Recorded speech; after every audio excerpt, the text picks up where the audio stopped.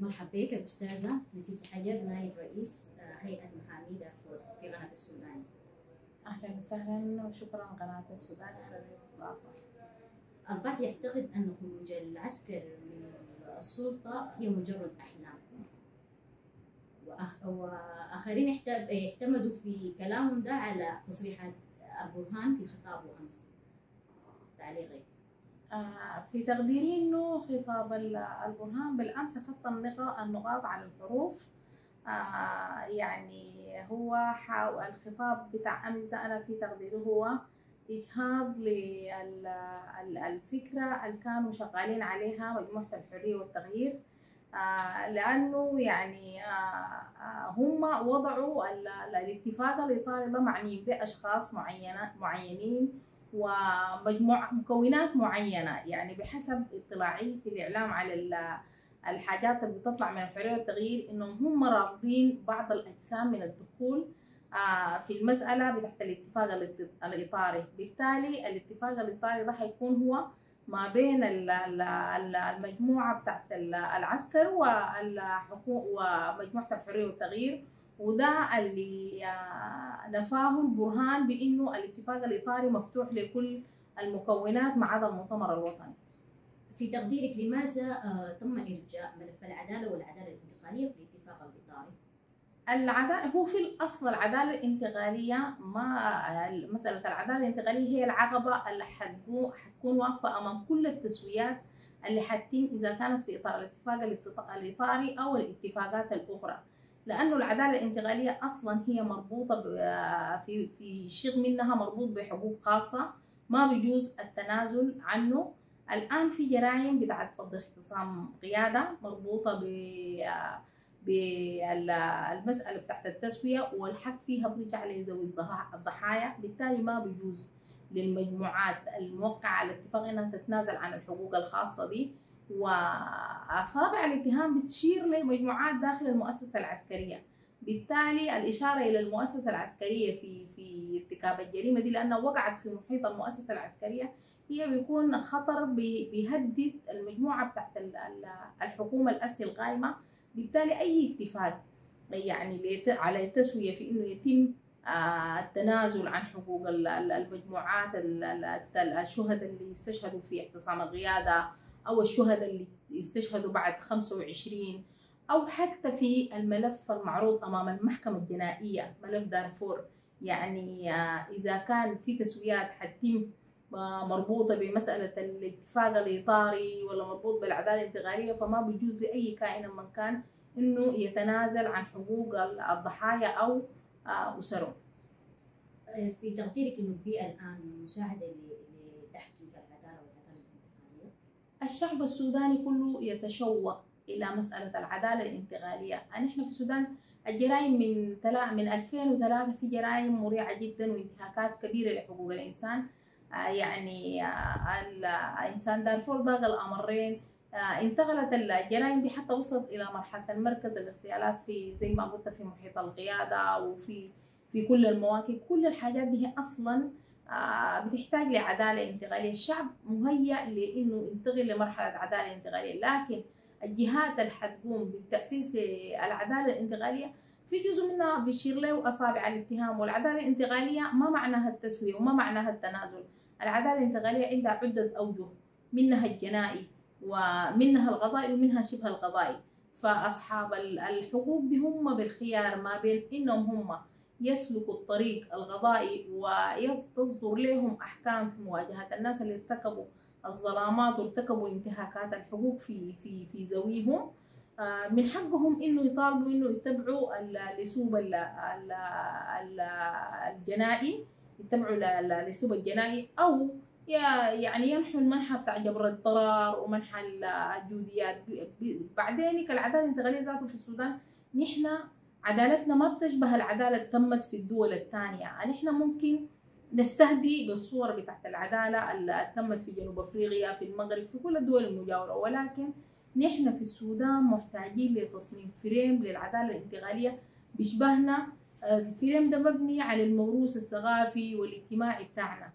فمرحلة مسألة العدالة الانتقالية ما بتتم في سنة أو سنتين متطلباتها كثيرة. في جبر الضرر محتاج لقروش في مؤسسات آه، عدالة انتقالية محتاجة لتأسيس في آه، مسح آه، لل- للمناطق اللي تمت فيها ال- الظلامات دي في تعويضات في حاجات كثيرة يعني منو منو المسؤول عفوا منو المسؤول من توفير البيئة أو الفريضه اللي بتتكلمي عنها؟ الفريم إحنا كشعب سوداني الحكومة المفروض تجي حكومة فترة انتقالية يكون شغلها الشاغل إنها تأسس المفوضية بتاعت العدالة الانتقالية. هم اخفقوا في اتفاق سلام جوبا. يعني آه، ما كان آه، ال- ال- الجانب بالذات بتاع التأسيس ده ما تناولوه واغفلت عنه الاتفاقية السلام جوبا. آه، حقيقة هو نحن اللي بنحدد شكل الحاجات اللي لكن غالبا مثلا السودان مارق من أزمات اقتصادية كبيرة جدا. العدالة الانتقالية بتحتاج لقروش. دي الحاجات اللي المفروض الناس تفكر فيها. إنه نحن نعمل كيف؟ يعني في يوغندا آه تم فرض في واحدة من الدول الأفريقية تقريبا يوغندا يعني تم فرض ضريبة حتى على الضحايا ذاتهم. فرضت ضرائب وجمعت الأموال دي وتم تعويض بها عوضوا بها الضحايا. حتى الض- الضحايا ذاتهم كانوا بيدفعوا في الصندوق بتاع الضريبة عشان بعد ذاك يمشي للمسائل بتاعت الت- التسويات. بالتالي نحن يعني المفروض في الفريم بتاع العدالة الانتقالية حتى جبر الضرر ذاته الناس بتحدد موارده من وين ومنو اللي بيدفعها وبتجي كيف ما هي. يلا مثلا آه، في نموذجنا نحن كسودان السودان في ناس في في الحكومة البايدة هم ارتكبوا ظلامات وارتكبوا جرائم. الآن المفروض يتم يعني بحث عن أموالهم والأموال دي ذاتها ممكن يعوضوا منها ال- المضرورين يعني. في جبر الضرر ممكن نستخدم الأموال النهبت من السودان والآن يخاطب ال- ال- ال- البنوك الخارجية الموجود فيها الأموال دي. بعد ذاك ممكن تتخاطب البنوك دي وترجع الأموال دي ويستخدموها في في جبر الضرر بالنسبة للضحايا. تتكلمي عن إنه المفروض يتم الاستفادة من أموال أعضاء نظام سابق أو النظام البايد. نعم. لكن الآن في آه، أموال استردت نظام أو أرصدة وكذا. هو ما حصل في في آه، لجنة التفكيك هو في خطأ. أنا واحدة من الناس بقول إنه أصلا كان من المفترض في قانون التفكيك إنه ال- اللجنة بتاعت التفكيك هي آه، يعني يدوها السلطات بتاعت النيابة وتفتح البلاغات لكن القرارات النهائية تصدر من القضاء. يخلوا الحاجات دي تمشي في القضاء الطبيعي عشان ما يتم استردادها. ما معناها الأموال دي الآن في ظل الحكومة القائمة تم استردادها. ما معناها إنه الناس ما ما ما ارتكبوا جرائم مثلا بتاعت فساد ولا حاجة. لا هي ال- الحاجة اللي حصلت ده, ده في إطار الكيد السياسي أنا في تقديري. استرداد الأموال ده برضو ده مؤشر خطير لأنه ما زال أعوان النظام البايد موجودين في السلطة وما زالت يدينهم واصلة. لأنه آه، يعني يلغوا القرارات دي. والحاصل في الجهاز القضائي ده دليل على إنه يعني ما زلنا نحن آه، في كنف النظام البائد يعني لسه ما في تغيير. طيب آه، في تقديرك ما هي شروط الشروط المفروض تتوفر لتحقيق العداله الانتقالية في مناطق النزاع؟ تمام في مناطق النزاع شروط كثيرة. أول حاجة آه، لازم يكون في تحول ديمقراطي حقيقي. عشان نحن نوقف الانتهاكات ما زالت بعد ثورة ديسمبر المجيدة لليلة. التغيير ده حصل هنا يعني في الخرطوم لكن في الولايات في مناطق النزاعات أصلا ما كان في تغيير. آه لسه أعوان النظام البايد موجودين في كل المؤسسات من أصغر زول لأكبر زول في المؤسسات موجودين. لازم يكون تغيير في تغيير مؤسسي حقيقي في إصلاح في المنظومة العدلية. ده الأساس. يعني عشان أنا أقدر أحقق عدالة انتقالية لازم المنظومة العدلية على مستوى المركز يعني على مستوى الدولة كلها فيها خلل كبير جدا لازم يكون في إصلاح في المنظومة العدلية لازم يكون آه، في حلول. الآن في دارفور على وجه الخصوص في ناس تم تهجيرهم ضرب غراهم وتهجيرهم من الغرة دي وتم وهم هسه الآن موجودين في المعسكرات. والأراضي الحقيقية بتاعتهم تم استيفاد آخرين من دول مجاورة. ومنح الجنسية السودانية؟ ديل ما يسموا بالوافدون الجدد. الآن ديل بيحملوا الجنسية السودانية وقعدوا في محل النازحين. بالتالي أنت عشان أنا حقيقة أقدر أحقق العدالة الانتقالية لازم أنا أشوف خيارات حتى الجي الجديد النازح حتى الوافد الجديد ده طالما هو بيحمل الجنسية السودانية. أنت برضه لازم توفر له آه مكان سكن توفر له حتة تانية عشان إذا إذا صاحب الأرض الحقيقي هو مطالب بالرجوع لأرضه. بعد ما يحدثوا له فيها التنمية. بالتالي في واحد تاني موجود في الأرض ده أنت حتعمل له شنو؟ ما لم تكون في حلول حقيقية لمجموعة الوافدين الجدد وفي حلول حقيقية مربوطة بالتنمية بالنسبة للنازحين. لأنه الآن النزوح التم ده جو النازحين قاعدين على هامش المدينة قاعدين على هامش المدن في نيالا في الفاشل في الجنينة. بالتالي في جيل جديد اتولد داخل المعسكرات. الجيل الجديد ده بالرغم من إنه هو عايش على هامش المدينة ما بيقبل لك إنك تشيله توديه لمنطقة مثلا صحراوية منطقة ما فيها بنية تحتية ما فيها تعليم ما فيها صحة. ما بيقبل لك. أنت عشان هو يرجع تعمل له عودة طوعيه لمناطقه. أول في البداية أنت بتهيئ المناطق دي. بتوفر فيها التعليم الصحة. وهم بعد ذاك بالخيار إنهم هم يرجعوا. في تقديرك المتهمين بالقتل. هل يمكن الحديث معهم عن العدالة؟ البنية النفسية بتاعت الشعب السوداني ده نكار. يعني يعني يفخروا بأنهم هم ما ما بيعترفوا بالحقائق. يعني وما بيحبوا الاعتذار الشعب السوداني. أنا شايفة بالرغم إنه الطيبة برضه بتيجي تلقاها في في نفس اللسان البسيط. الآن المجموعات بتاعت اللي ارتكبت الجرائم دي آه في دول في ناس جو كان مطلب الناس يقول لك أنا ما داير قروش وأنا ما داير يعدموا لي لكن أنت ممكن تجيبوا لي هو الزول ده أنا اتضررت منه يجي في مجتمعي ويحكي يقول أنا ارتكبت الجريمة الفلانية وبعتذر عنها. لكن ثقافة الاعتذار دي نحن عندنا في السودان شوية صعبة يعني ناسنا ما بحبوها. بالتالي هي دي إشكالية كبيرة جدا. أنت بتعتذر معناها أنت بتغر بجريمتك. الإغرار بالفعل ده ذاته وانت تعتذر عنه دي دي ده سلوك جميل جدا. لكن كيف إن إحنا نقدر نوصل مجتمعاتنا لمرحلة إنك إنت تعتذر وتحترف بذنبك؟ الاحتراف ده ذاته واحد من الآليات بتاعت تحقيق العدالة الانتقالية. يعني إذا المجموعات الآن الجرائم في دارفور ارتكبت الميليشيات ومنهم على وجه الخصوص ميليشيا الدعم السريع والقوات النظامية.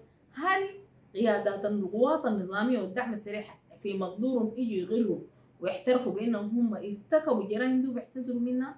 ما في ثقة بين الشعب السوداني فممكن يقول لك أنا آه إذا أنا اعترفت الضمانات شنو؟ أنت ما ممكن تمشي توديني. تعتبره ده إغرار مني وتمشي توديني. بعض القيادات اللي اتكلمتي عنهم ديل بيقولوا إن هي تصرفات فردية. بالتالي لا يمكن نلصقها على على القوة ككل. نيفا ما تحت تصرفات فردية بدليل اذا مثلا قريه تضرب غيريه بالطيران. يعني يكون واحد من الضباط سايق الطيارة ويشيل له سلاح ويمشي من الخرطوم هنا أو من أي قاعدة. يضرب له غرية ويجي راجع ما لم تكن في أوامر كلام ما منطقي قصة تصرفات فردية. هي في نزوح تهجير لناس من قرى باسرها في مجازر في اغتصابات تمت لمجموعات منطقة ثابت. في يوم واحد تم اغتصاب 200 امرأة. ده ما سلوك فردي. من قبل قوات نظامية كيف يكون سلوك فردي؟ العدالة من شعارات ثوره ديسمبر. آه البعض بيعتقد إنه الحرية والتغيير آه فرطت في هذا الملف. حقيقة أنا بلوم الحرية والتغيير لأنها تعاملت باستهتار مع ملف العدالة. حقيقة يعني ومش مع ملف العدالة. مع كل الملفات يعني كان الهم الأول والأخير هي المساله بتاعت المحاصصة السياسية. كان السنتين الأوائل كانت الناس مشغولة بالقصة بتاعت المحاصصة السياسية واهملوا ملف العدالة. وزي ما قلت لك الإصلاح إصلاح المنظومة العدلية هو دي أول الخطوات في تحقيق العدالة. الآن نحن بنعاني من من فساد وإفساد داخل فساد إجرائي وإفساد داخل المنظومة العدلية. بالتالي دي إشكالية كبيرة ما لم يتم إصلاح للمؤسسات ما حيكون في عدالة. والحرية التغيير حقيقة فرطت في في الجزئية دي. عن غفلة ولا تعمد؟ لا أنا ما بقول تعمدا لكن بقول هم عن غفلة لانهم هم انشغلوا بمسألة المحاصصات. رغم إنه في خبراء قانونيين وكده. آه هم في خبراء أنا بقول في خبراء لكن ما كانوا مشركين كل الناس. كان ال- ال- الحاجة شغالين فيها شغال فيها القطاع السياسي يعني فقط. كان ال- الناس أول ما دخلوا حكومة حمدوك كان التفكير كله بدليل إنه في الوقت اللي فيه الجانب العسكري كان بيقود عملية السلام بقيادة آه، حميدتي والمنظومة العسكرية معاه هم بي- بيعملوا في ترتيبات السلام والمجموعة بتاعت الحلول والتغيير كانت ما في وادي والمجموعة دي في وادي بدليل إنهم هم كانوا يعني بيتشاكلوا في قصة المحاصصة دي لحد ما سقطت حكومته.